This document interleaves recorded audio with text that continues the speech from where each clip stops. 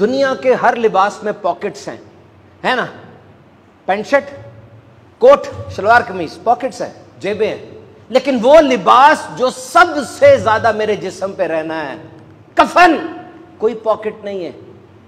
کوئی جیب نہیں ہے اس کے اندر۔ جب آپ اس دنیا میں آئے تھے، کچھ لے کر آئے۔ اور جب جائیں گے، تو کفن میں تو پاکٹ نہیں ہے، طے ہو گیا نا۔ اور کوئی بیگ بھی نہیں دیا جائے گا آپ کو کہ جو جمع کرنا ڈال لو، لے جانا۔ تو آتے وقت کچھ نہیں تھا۔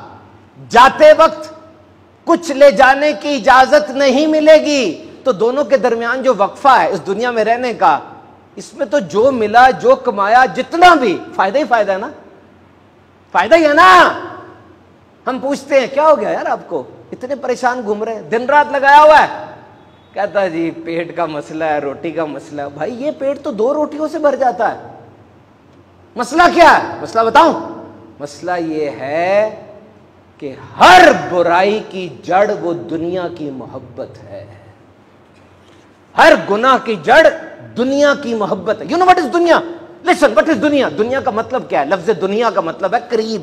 کیونکہ یہ آخرت کی نسبت قریب ہے۔ وہ دنیا بری ہے جس کی وجہ سے آخرت کی غفلت پیدا ہو جائے۔ وہ دنیا بری ہے۔ سن لو! دنیا سائے کی طرح ہے اور سائے کے دھوکے میں نہیں آیا جاتا۔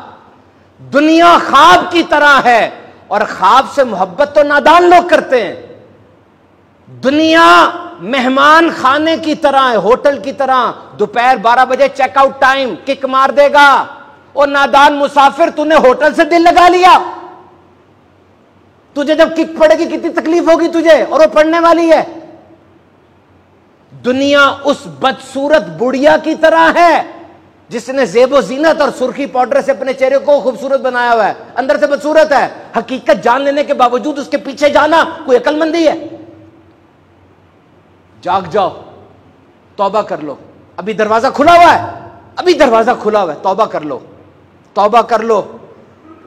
کیونکہ جب تک گلے میں آخری سانس ہے، چانس ہے۔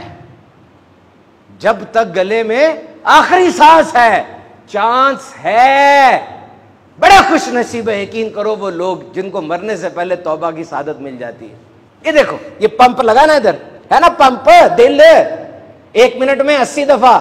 ایک دھڑکن سکپ ہو گئی نا، ایک دھڑکن سکپ ہو گئی۔ ٹھنڈے پسینے آ جانے ہیں۔ کیا رہ جانا ہے؟ یہ دماغ، چھوٹی چھوٹی نالیاں ہیں۔ ایک خون کا لوتھڑا پھنس گیا نا سکے بیٹے بیٹی کی پہچان چلی جائے گی۔ کن چکروں میں ہو؟ ابھی دسترخوان پہ بیٹھے تھے، ادھر درد ہوئی۔ کہا گیس کی ہے، دو چکر آئے۔ اور یقین کرو، ڈھائی گھنٹے نہیں گزرتے پتا کیا باتیں ہو رہی ہوتی ہیں؟ جنازہ دس بجے کہ گیارہ بجے؟ جاگ جاؤ۔